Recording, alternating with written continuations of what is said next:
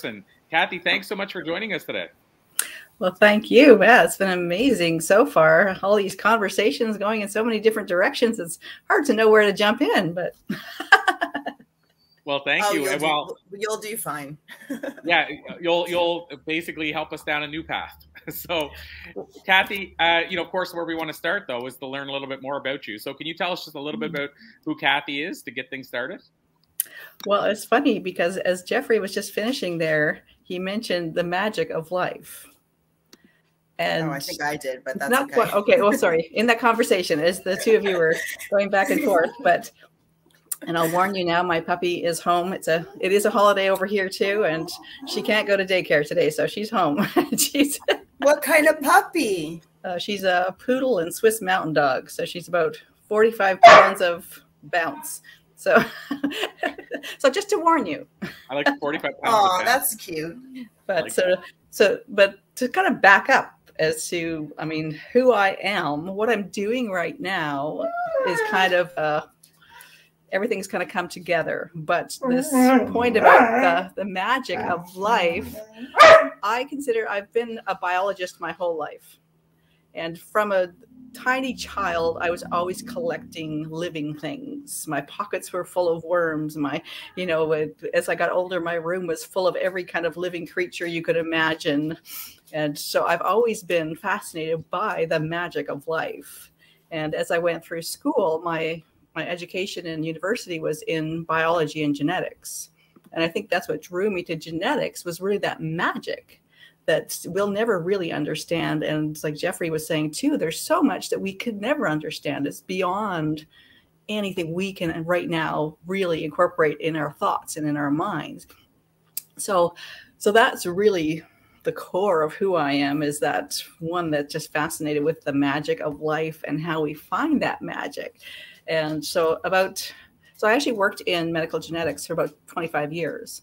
And it was about 10 years ago that I went through a major life shift, went through divorce and realized at that time the job I was doing just it was a very toxic environment. So I was leaving a toxic marriage, realized my job was also toxic, and I literally threw my life up in the air and reinvented it on the way down.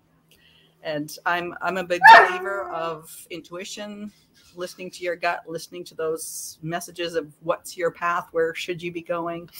And at that time, it led me to realizing that I needed my my kind of core of what I needed to do was to help women create a life that they loved and to help support them in different ways. So to be more of that people person. And yes, my dog, she agrees. And so at that time, it came to me that she's like, just let me get in your lap. she, she's a bit big and I've got the virtual background on too. So if I, if I move, everything moves and she does not like the green screen. And, but, but yeah, so, so about 10 years ago, just kind of in, in that phase of literally throwing my life in the air and reinventing it, I came to the feeling that financial planning was where I needed to go because I felt I needed to be that one that women could come to for information and that support because I heard from I mean so many of my friends were going through divorces, going through major life changes. You know, here we are in, you know, pushing 50 and starting all over again. And I just found that finance was a place that women just really got stuck and didn't you know, weren't able to move forward but so spent the last 10 years working in financial planning different corporate things but again came to that that that intuitive knowing that i was in the wrong place still that i was doing the right kind of thing but i wasn't in the right place and you know realizing that working in the corporate world you're you're very confined by what the rules are who you're representing what you're allowed to talk about and in my mind there's so much that has to go into any kind of money conversation that has to happen way before that. So that idea of what do you actually want to do? What are you actually planning for? Like the the numbers don't mean anything if you don't know what you're planning for. And so that's mm-hmm. where my intuition kind of told me again, okay, you need to move in a different position here in this conversation. So now what I've done, uh, actually pretty much a, exactly a year ago now, I left my corporate job, walked away from my financial planning world and into my own world. So in my company, I call inspired tenacity. And to again, that came to me kind of in an intuitive feeling that to me that's what we need for any major life change. We need that intuition of what do you want, but then we need that tenacity to just keep at it. And to be inspired. Inspired is the key. When it's an inspired yeah. action, it's a game changer. Exactly. And the word that fits in the middle there that I always like to add is courage but that would be too long of a name. So Inspired Tenacity is my company. And so what I'm doing now, I mean, obviously finance is intertwined with everything. So I can help people with that. But what I'm really helping people with is that other stuff before that. That what do you want? What are you holding your back yourself back from? And focusing mainly on midlife women because I find so many of us have lost track of ourselves. We don't know who we are. We, you know, we've given so much to so many people for so long that we've lost track of both ourselves and often our ability to receive. We're giving, giving, giving, but we almost like the, the guilt of receiving, we're not doing it. So I'm trying to take women back into that thought of what do you want how do we create the life you want and bring all this stuff together? And I just love where the conversation's been going this morning with all the talk about epigenetics and neurology and quantum physics and because again getting back to that magic of life so much of it's intertwined in all those things that in our culture we're we're taught to not think about that those aren't real and that's and i think jeffrey was talking about that too that you know that from a, a biological state that that that the instinct goes back so far and I, I, think mm-hmm. lisa was talking about it earlier too but with the epigenetics talk about grandparents and what we actually learn and carry from our grandparents and so mm-hmm. just all these different things i just love bringing all of that into the conversation because we have stopped thinking about that and i find right now so many people are just feeling stuck and I think this whole, you know, dealing with COVID and all the rule changes for the last two years has definitely just left people exhausted and overwhelmed. And so, so right now, that's really where I'm focusing. Is my my programs I focus around the words reignite. So reignite your life because I find so many of us are just feeling stuck.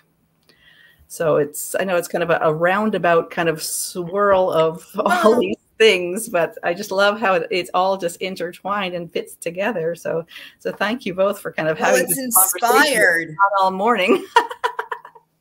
but it's inspired, and so, but the, I think it's important that you have such experience, right? That you're bringing to the table, exactly. And this is now your focus. Exactly. You just shifted focus. Yeah. You don't, you know, sometimes well, exactly. I, yeah, exactly. You're not if people say, "Well, that's so totally different. How are you doing that?" And now you're doing that. Like, what are you doing? They don't see the connection, but it is all connected. It's all intertwined.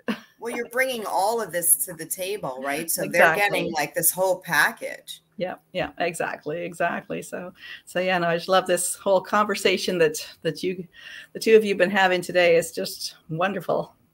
well, to that point about people not seeing the connections I get asked a lot of times about the, and, and it's more from people that are struggling with it, that they're what I might call a, a multi-passionista or a multi-passionite. Uh, you know, people that are passionate about multiple things that are related, or they're doing them without realizing it for something that's going to happen later on. You know, that they're going to merge them somehow, and they come to me and say, like privately, you know, Corey, I see you juggling multiple things that look separate, and yet you seem to be so happy, and you seem to be actually juggling them okay, and they seem to the ball stay in the air or whatever. And I think that's a misnomer. I think that's a myth. People think that you can't have multiple passions. But I will say this um, ultimately, what I seem to find is that almost always they do eventually somehow come back to connect. So, for example, people used to say to me, well, people didn't see how being an author, it, now people see it more now, but being an author, uh, being a speaker, being a musician, being a comic, like all those things, how do they connect? But here we are, X amount of years later, and now I'm guiding other people how to be an author, how to be a speaker. And so maybe I was doing these multiple things so that eventually I could help people uh, maybe impact more lives by becoming an influencer. Well, that's just it. I think when you put it all together, that's all about you putting your message out in so many different ways because every single one of those is about you sharing your message. 100%. And people didn't see that at the time. So, like the same thing you're saying, people don't necessarily it's their see perspective, it. right? And they don't have to to see it. What you know, and you could take that whichever way you want. Meaning, like you know, what do they say? Uh, what people say about you behind your back is none of your business. None of your business. I mean, the truth is, they don't have to see it as long as you and it, I mean, you don't even have to see it necessarily because eventually it'll show itself. But I really do believe there's a reason why when somebody has multiple passions, that's happening you know it'll it'll be revealed later. We don't know how the universe is going to work around it, but I so I think it's awesome that you you have multiple things that might not seem related to somebody else. Exactly, and it's funny too. Because like ten years ago, when I started on this kind of again reinventing my whole self, I actually had come up with the mission for my company at that time, and I've carried that on. But then my mission in my company is to create a cycle of wealth and success among women around the world.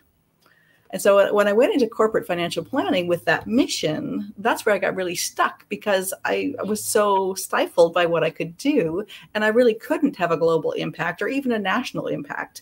I could really only focus on the province I was in when you're dealing with those kinds of services.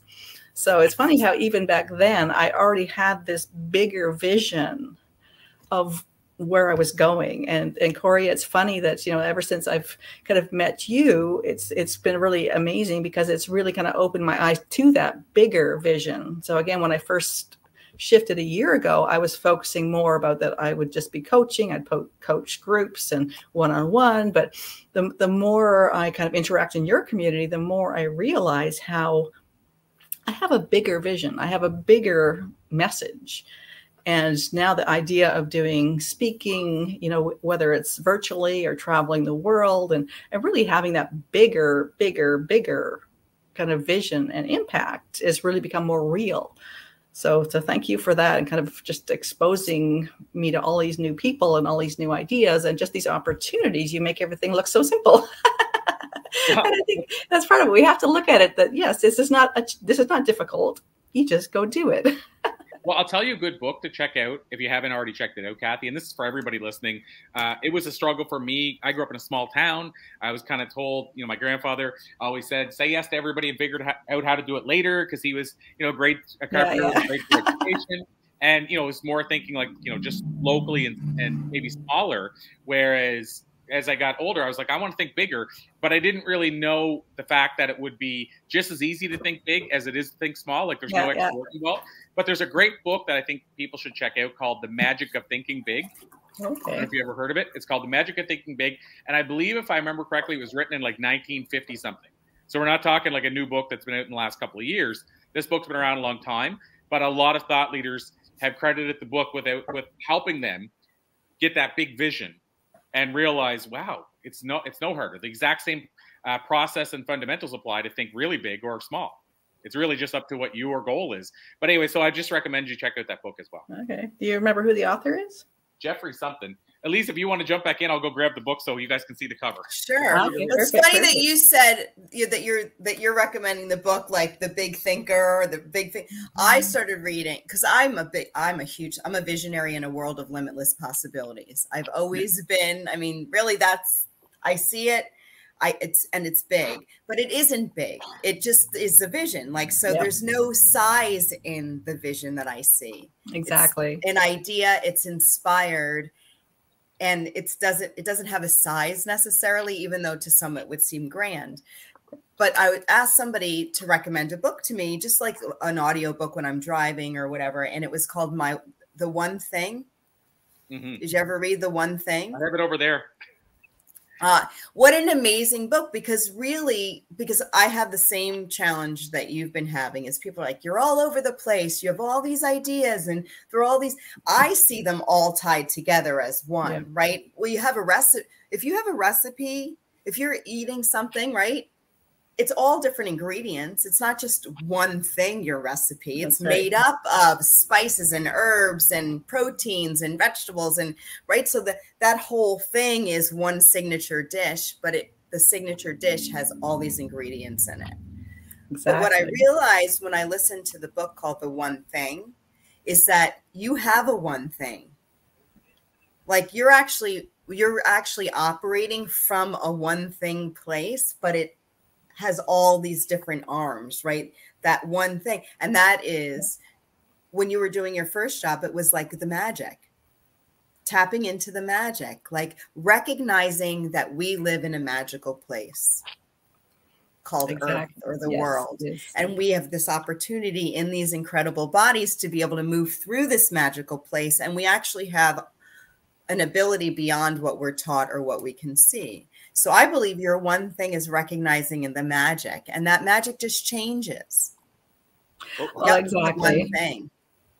I love it. It it was a game changer for me. It helped me recognize that that I might show up in the world as being all of this, but I'm operating from the one thing, yeah. which is yeah. recognizing that we live in a limitless possibility and helping people tap into that, whatever that means for them. So if it's through recipe development or starting buying old motels and flipping them into retreats or coaching and oh. speaking oh. and creating businesses and startups and brands for people like all of these things that i don't talk a lot about on because i don't want to confuse people. I i'm the i'm the founder of flip your script coaching and that's how i kind of show up here um, on this platform. But behind the scenes what it what inspired flip your script coaching was recognizing that we do live in a world of limitless possibilities seen and unseen known and unknown. And i have been gifted the ability to help to have a knowing and help people tap into that. So you have your one thing and that's you said it when you when you came on stage was that you saw the magic in the world. So yeah, that's a good oh, segment. You, yeah, you guys want to know that uh, it was written Big in 1959 thinking. and the author, can you see that? David Schwartz. David Schwartz. It, I like this. The back he says, "Set your goals high, then achieve them."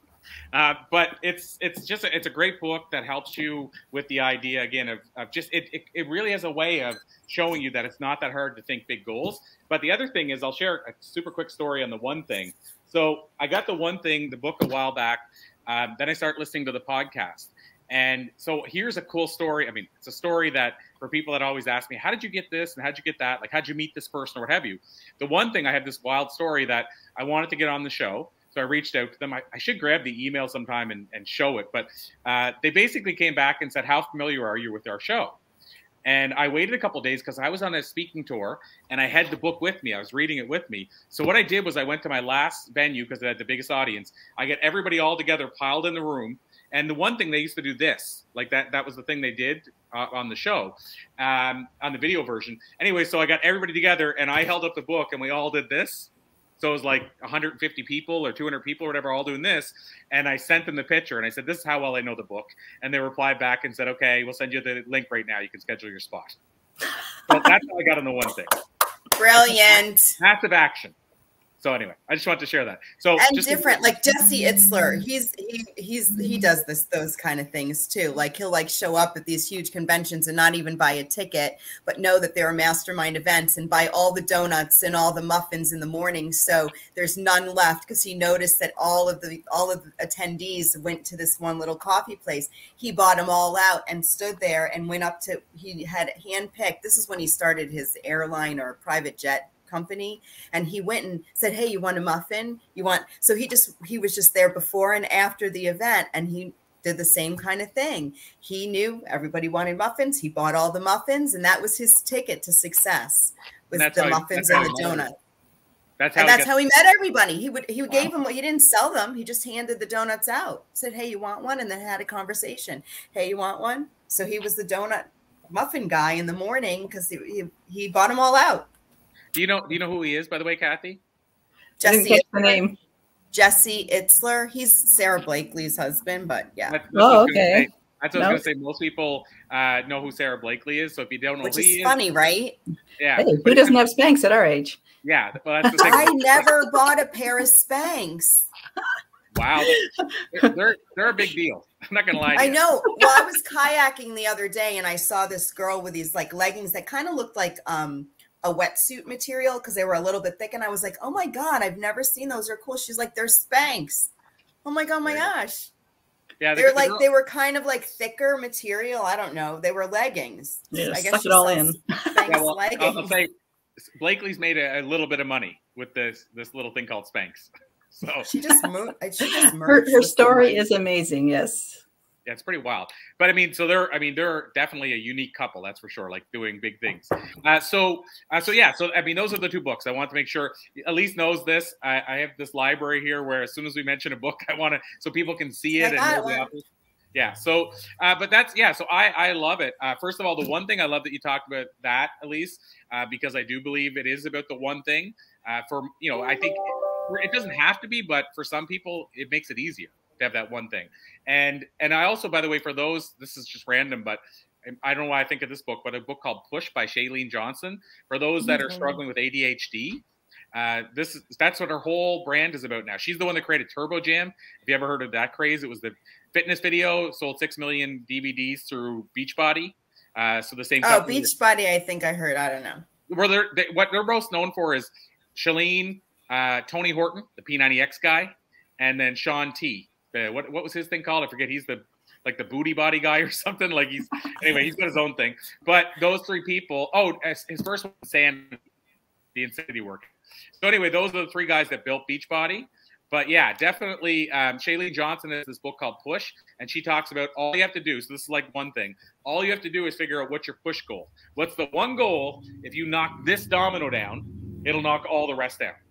So, for example, if you write a book, then you'll get on more stages, you'll get on uh, more media and all this stuff. So she says, you know, all you have to do is pick three push goals instead of trying to accomplish 55 goals. Anyway, just put it out there. It's a good book. Very good, Very Yes, yes. so I have a question. So let's say, so let's say that I wanted to work with you. How would I find you? or would I even be your target market? Like, I guess yes. I am. I'm like well, midlife. I'm thinking our our our, uh, our uh, age is definitely the target market. You, on the other hand, though, I would say not, because you are someone who's already following your passion and is already giving yourself permission to reach out and connect with what you want and what inspires you. You're doing it. So my target right. market really is women our age that are stuck in say jobs that they hate that they've been doing for 20 years and they just feel like well i can't do anything else now i'm too old i'm not going to start all over again even though i mean i keep asking people what do you think is the what's the real cost of staying stuck where you are you hate it mm-hmm. you're angry all the time the cost isn't just income the cost is your relationships the cost is your health, health mental health, physical health, health from every perspective. So when you think about the impact of staying in a lifestyle or in a situation that is really just stressing you. And anger anger is something that women don't talk about. You know we're not allowed to say hey i'm just angry. Mm-hmm. but i find so many women that are stuck in those jobs or in relationships that they hate or just situations that they hate that that's what they're doing. They're I, I, describe it like they're banging their head against the wall every day you know and that's what i was doing in my last job every day was like oh you know and i could feel my blood pressure i could feel my body just saying get out get out but i find so many women aren't giving themselves permission to mm-hmm. think beyond that so that's really where my target market is is those women that are just letting themselves stay stuck and right. killing themselves, really, when you think about it. And I was mentioning the other day on one of our bLU Talk chats that uh, I've I've kind of shifted the wording that I'm using and really decided that words like disruptor and catalyst really are what my one needs to be. So not you know coaching and you know just is very fluffy, but just disruptor like I need to be that disruptor that just give your head a shake, snap out of it. So that that's mm-hmm. really where I'm going as I, you know, really kind of take a bite out of what I'm focused on accomplishing here. Again, that that bigger vision, that bigger shift of wake up, get out of there, mm-hmm. you know. And and sometimes it's just a matter of going through a process where we remind ourselves what we did like about that job or what we, you know, what we are good at so sometimes mm-hmm. it doesn't require huge transitions, transformations. It's just a reminder almost. And other times it it will require a big shift. It will require you to move to a different career, find a different relationship, completely change your life in some cases. But again, um, I keep reminding people too, we have to plan to live into our 90s. So if you're in your 50s and early 60s and you hate every minute of the day you're living, Mm-hmm. like what what are you setting yourself up for? And even what kind of role And what are you and what are you really you afraid of? I was just having a conversation with one of our guests here.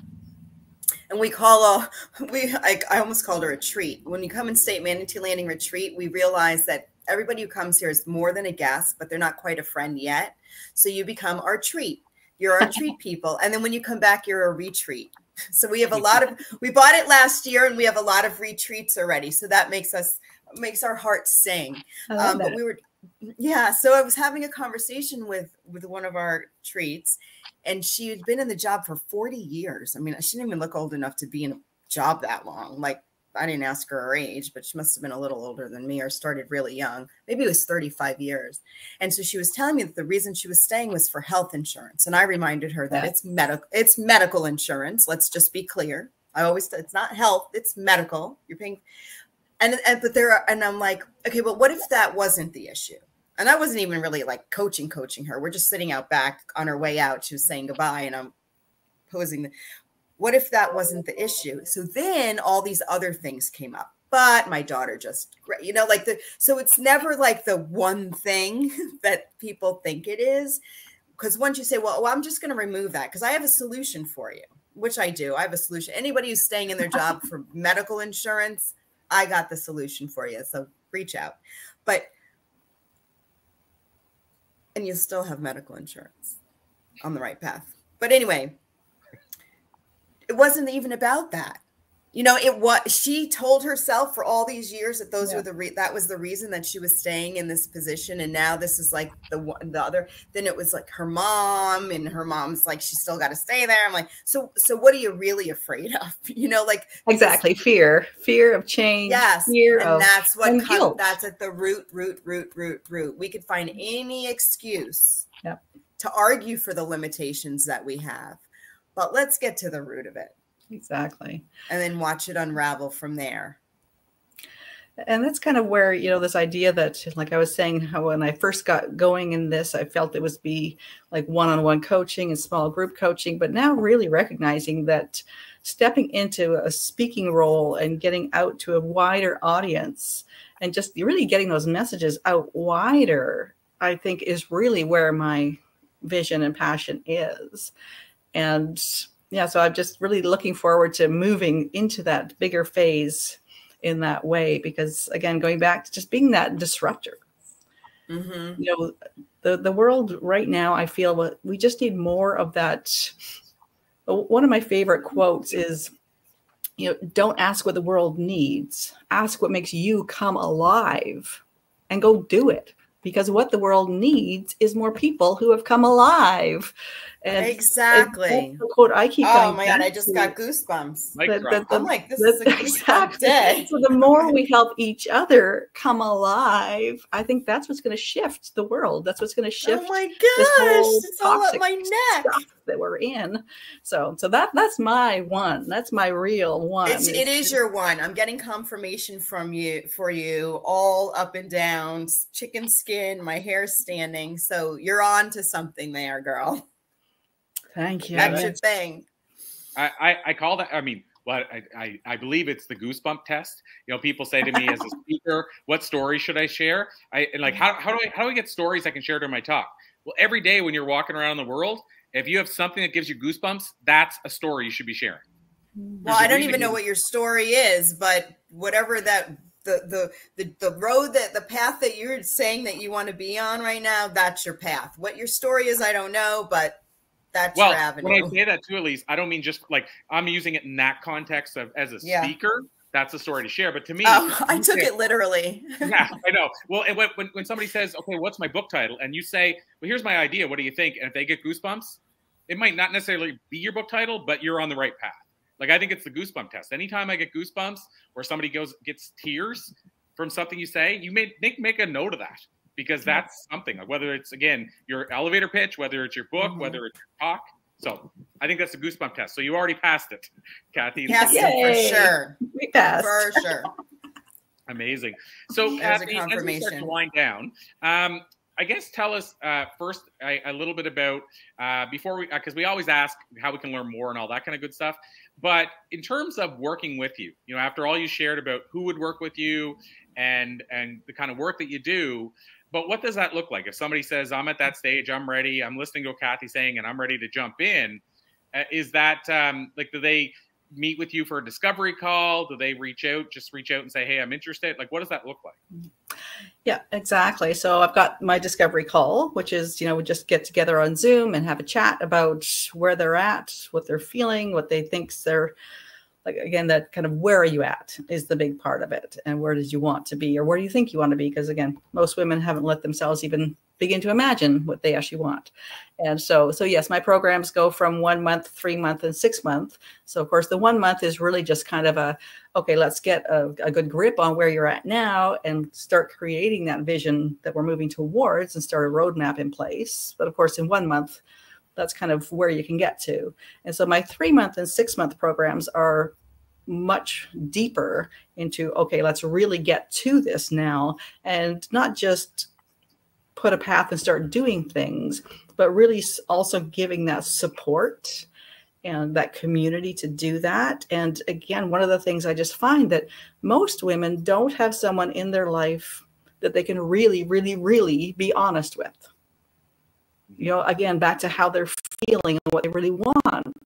Most of us don't really have that person. We have people that that, that love and care about us, but they don't really want to hear again you know, you back to being angry right. and frustrated and like who in your life wants to really know all that stuff coming out of you right so just part of it is really giving that community that space for people to really be honest about how they're feeling. I mean i'm that person that they can just let it all out say okay what are you really feeling? What do you really want?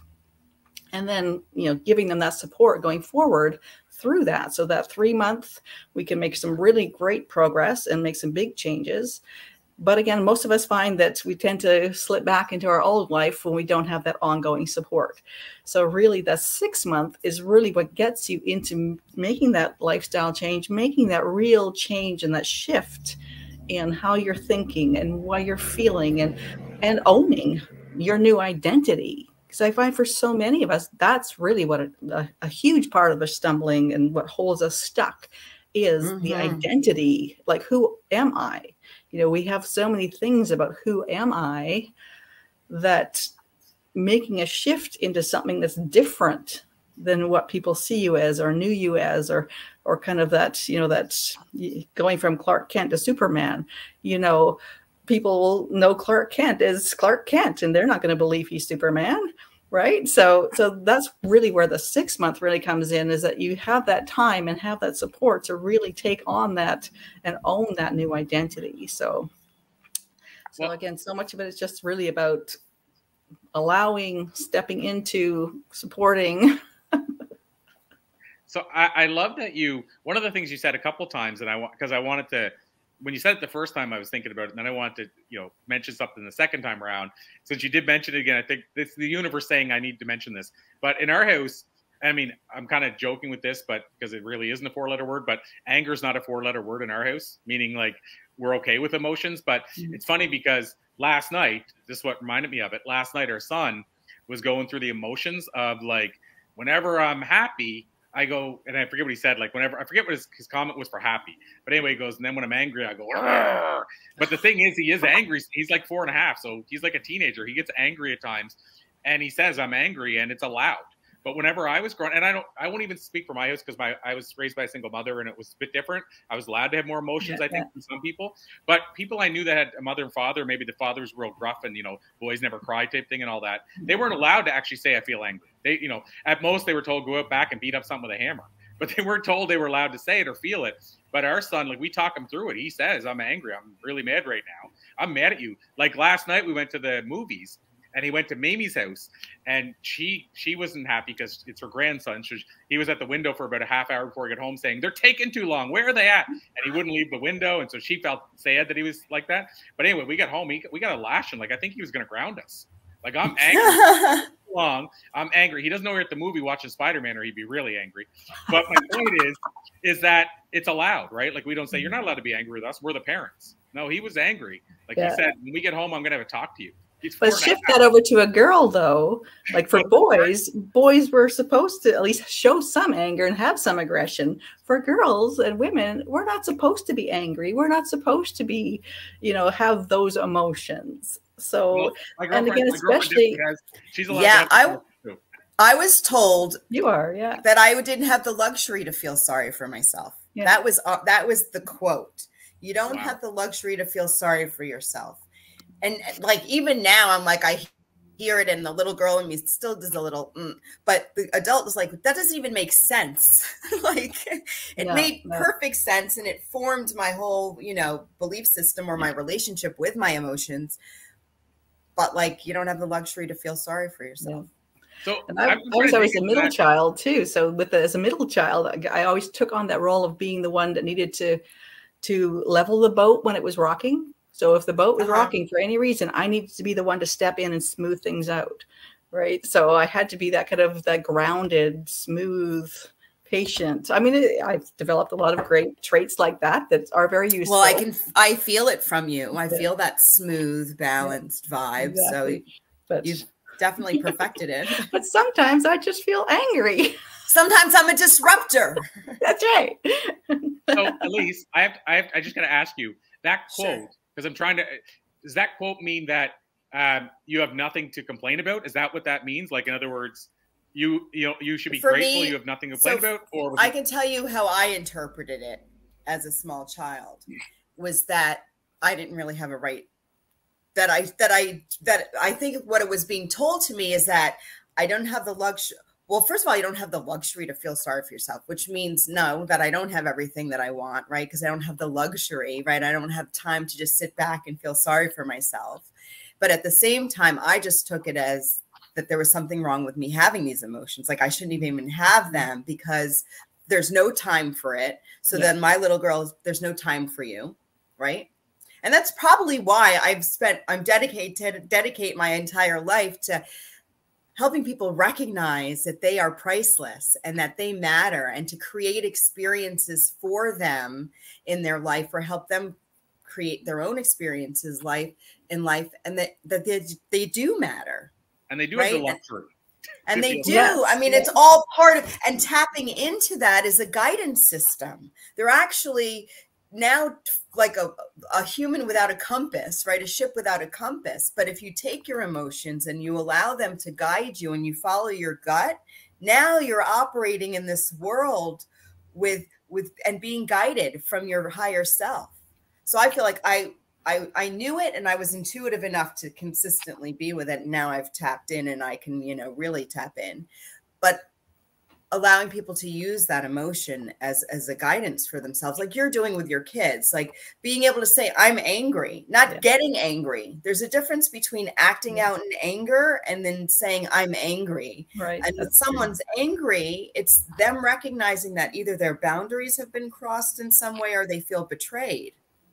So your son felt a little maybe both but he's learning to express it and now he can use that to guide him but when you're cut off from that, a lot of people, when you're cut off, it's like you're floundering or buffering. Right.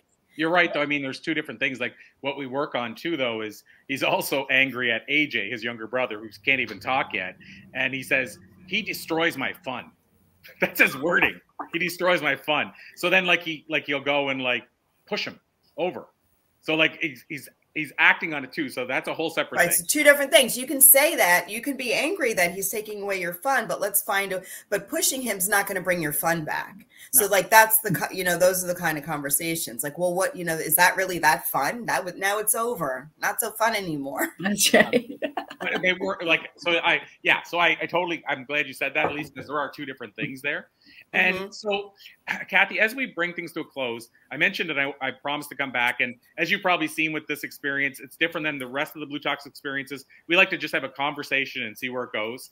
And I think what it does, though, is it gets people to know you, know, like, and trust you, know your work, know the type of thing you do more so than even if we just talk about your company the whole time.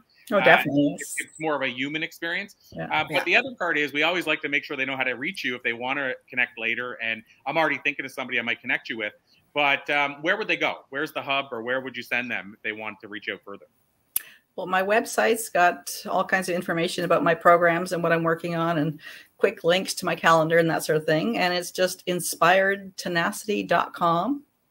LinkedIn is where the social media that I'm on the most. So that's the definitely the best place to connect with me there. Um, I am also on other things, but don't spend a lot of time there. So definitely my website and LinkedIn are the two best places to find And me. I just uh, responded to your request. Oh, perfect. I Thank think you. I got one from you, right? Right before yeah, you yeah, came on on. Facebook Yep. and LinkedIn. I sent you this morning. Yeah, so we're connected. I didn't get my Amazing. Facebook. Well, and Elise is an hour behind me, so it's funny because uh, you're in, in BC, correct, today, Cathy? So Yes. you're three hours behind Elise. It's just after like, 11 this morning. Yes. Yeah, so she's like mid afternoon. I'm like end of the day almost. And Wait, where are you? Cathy? I'm on the West Coast. pretty Oh, okay. And- Yeah, so I, I, I thought you said DC. I was like, No, that's three no. hours behind. No. No. no BC. So it's uh we had two Canadians on and two uh, U.S. Uh, guests as well. So two American and two Canadian. And Elise is American and I'm Canadian. So we had a perfect balance today. Three. we got the and 50 50 today. absolutely. perfect. Perfect. Cathy, I would rec- recommend that you go into the comments too below and just put in your contact information so people who do go back and watch the archive or the watch the replay will be able to find you as well. And this will be posted on, so it's on LinkedIn and Facebook. And where else are we? YouTube. So uh, we're on YouTube, LinkedIn, and then about eight, maybe eight or ten platforms on Facebook, or I should say pages, different groups and pages. So we're all over the place. Uh, so I know in your meeting for going for comments, uh, the main two I would look to, uh, well, other than LinkedIn, would be my own profile page, and this is for everybody else watching too, It's on or the Flip Your script. Yeah, the Flip Your Script group page as well. Yeah, come and hop on and join that. It's called the bLU. It's called bLU Talks Flip Your Script Experience. Yeah, yeah, I'm on there. I swear I was listening to you guys this morning. Uh, Yep, I see it. Amazing. Amazing, amazing. So, Cathy, like I said, this has been an absolute pleasure. Um, gonna let you go and, and let you run, but thank you so much for joining us today. And then just to let everybody else know, uh, then Elise and I, if Lisa's cool with this, we'll just take one minute to wind down and we'll both run. Yep. I know we're a bit And then I got to today, go. I got to get out, get on the river. well, I- thanks I- for having me. And Wednesday, I'm on co hosting with you. Yes. So, Yes. so I'll see you So- back on Wednesday. Amazing. I'm super stoked for that. This is a, a new thing this week, a new twist They have different co-hosts. So I'm excited to have that happen. I'll be behind the scenes. Yeah, Uh, I'm curious to see how that's going to happen too, Corey. I Well, can't wait to we're gonna- meet everyone, but it's We'll going to be fun. new. Well, and, and the Oh, are thing you is, are going to be on together? yes. Yeah. On Oh, Wednesday. Okay, well, now I know you, so that's good. Yeah, exactly. I don't know if I.